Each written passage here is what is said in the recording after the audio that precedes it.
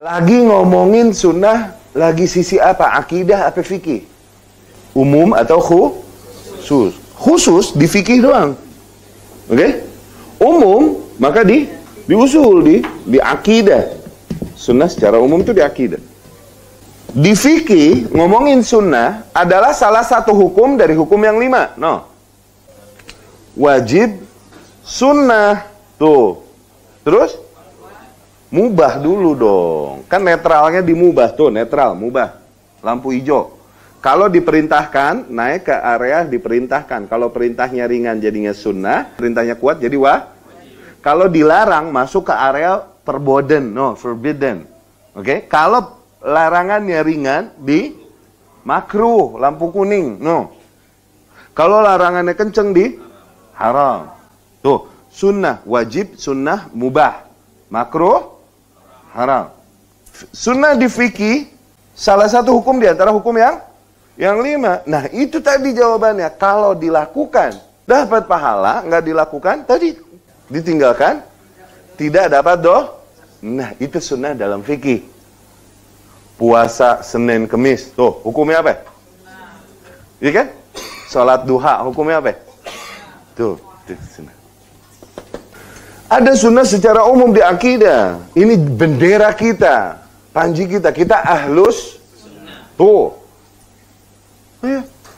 Maknanya sunnah di sini semua hal yang datangnya dari Rasulullah Shallallahu Alaihi Wasallam, semua ajaran Rasulullah Shallallahu Alaihi Wasallam dipraktekkan umat sejak zaman awal tuh itu sunnah dipraktekkan di antara ciri sunnah dipraktekkan oleh umat dari zaman awal. Apa tadi sunnah di sini? Semua hal yang datangnya dari semua ajaran Rasul Shallallahu Alaihi Wasallam. Terus dipraktekkan umat dari zaman ke dari zaman awal, dari zaman awal, oke? Okay? Nah sunnah yang ini ada tiga bentuknya, ingat gak? Kalau kita lihat keseluruhan ajaran yang datang dari Rasul, kita bisa klasifikasikan jadi tiga. Kauliyah, ingat? Perkataan-perkataan yang datang dari Rasul SAW diriwayatkan dan dan dan dan gitu kan? Terus fi'liyah, praktek-praktek yang datang dari Rasul. Sahabat lihat Rasul sholatnya gimana? Oh begitu. Tuh, praktek Rasul. Hajinya Rasul kayak gimana? Sallallahu sama takririyah, sikap-sikap yang Rasul ambil, keputusan-keputusan yang Rasul ambil sallallahu alaihi wasallam. Terjadi kejadian demikian nih. Terjadi kejadian demikian. Sikap Rasul apa? Rasul melarang, berarti hal itu terlarang. Rasul diam, berarti boleh. Rasul memuji, berarti hal itu mulia. Itu sunnah.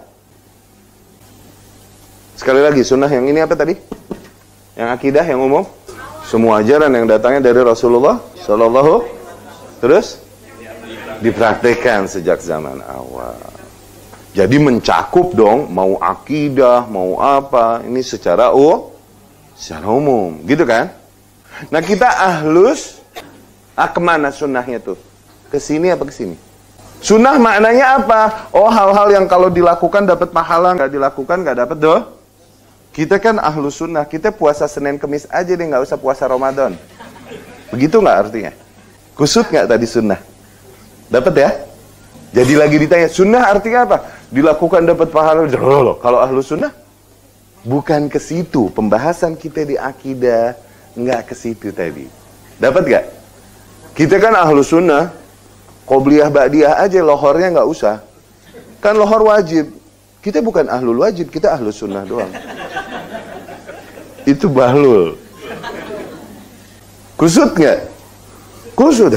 Nah, sebagian orang kusut. Kenapa sih ngeributin jenggot-jenggot mulu tuh? Wahaboy. Ciel, wahaboy. Kenapa jenggot-jenggot mulu diributin?